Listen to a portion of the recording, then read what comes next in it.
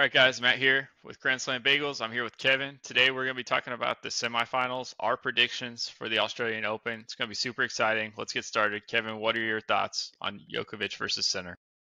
So, Djokovic is Sinner. For all the betters out there, betting odds for this is going to be negative 200 for Djokovic. So, if you put about $200 in favor of Djokovic, then you can win $100. So, take that as you will. We need to also take into account for the matchup Sinner potentially having an abdominal injury last match against Rublev, which can play a factor in, in, a three out of five set match. So uh, we'll see how that goes. With regards to their uh, matchup, they've played about six times with a four to two record in favor of Djokovic.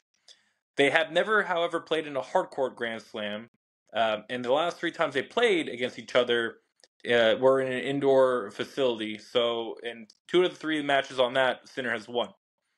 But you know, we all know how well uh, Djokovic's mental game is in those Grand Slams, and it's on another level. So we'll see how this this matchup plays.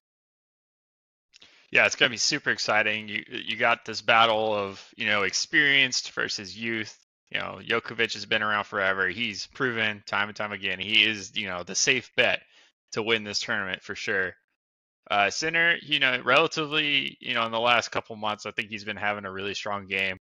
He's mm-hmm. kind of focused more, a little bit more than he has in the past, and he's been getting some better results. Um, pretty excited overall myself for those. Uh, what are your thoughts on Medvedev versus uh, Zverev? So betting odds on this one is negative 150 for Medvedev. So again, if you put $150 down in, in favor of Medvedev, you'll win $100. So take that as you will. With this matchup, two similar players from the back with both great backhands. Uh, out of the 18 matchups they they're played they've played, their head-to-head record is 11 to 7 record in favor of Medvedev. However, an interesting stat is that they've never played a Grand Slam together. So no three out of five set matches. So which that can play a factor against you know two sluggers off the baseline. We all know how Medvedev can have those mental lapses that can also play a role. But we overall is pretty good about recovering from those lapses. Uh, we'll just have to see this match. Uh, it's going to be an interesting one for sure. Let's get into some scoring predictions. I'm going to go with uh, Djokovic winning the first one in three sets. I think uh, going to come out there. He's going to, you know, give it a good effort. I think he's going to come out about four on the first set.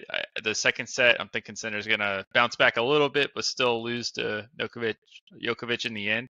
Uh, I think that one will be a tiebreaker. A third one, I think it's going to be an easy six-two for Djokovic.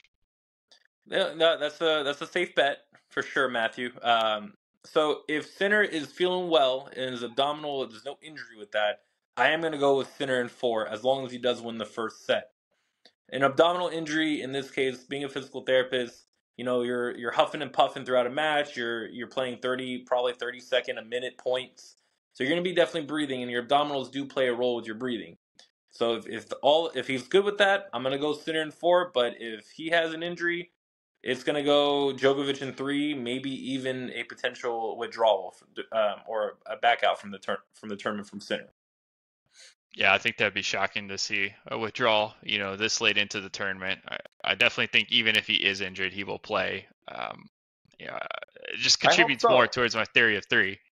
I hope so. Yeah, if he does play, it's going to be three set. If he does have an injury, so that, I agree with that.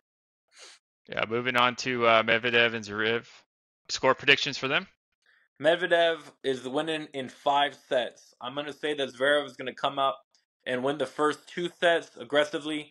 Uh, he's going to play aggressive. He's going to take his chances, but I think the moment is going to be too big for Zverev because he's only played in one Grand Slam final back in 2020. Hasn't really been that relevant since until recently, where he's come up pretty strong. Medvedev, you know, like I said, he, you know, his mental game can be a factor in sometimes, but he has that U.S. Open belt to kind of utilize for experience if he needs to. Yeah, I think he, I think he might lose the first set, Medvedev, but I think four to five is right where I'd picture it too. I, I do think Medvedev is going to win. I think the final, you know, moving into that will be Djokovic versus Medvedev.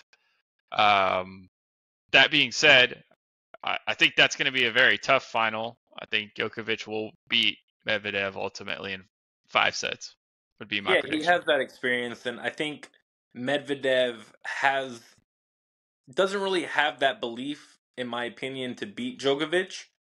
he um you, he said before like he he respects him re- very well, but you know I don't think he has that you know that burning kind of you know I can beat this guy. And if you don't if you don't believe you're going to beat Djokovic, you're not going to win. Yeah, in the past, you know, you've heard Djokovic go to several press conferences and he talks about people that refer to greats, you know, Federer, Rafa, you know, he talks about his desire to beat those players, and that's ultimately what got him here today. Is he put in that additional work? He analyzed their gameplay, he looked for weaknesses, and he adopted a style to his own gameplay, changed that so he could go and beat those players. So for what you're saying, I do agree with that statement as well. Right. Yeah, Djokovic is on another level. So if he's able to win this match against Sinner, and it's Medvedev against him, I, I don't see Djokovic having a problem with Medvedev. All right, guys, this was Matt and Kevin, and that was our score predictions for the tournament. We'll check back in with you guys later, see what the results were for the semifinals. See ya. Take care, guys.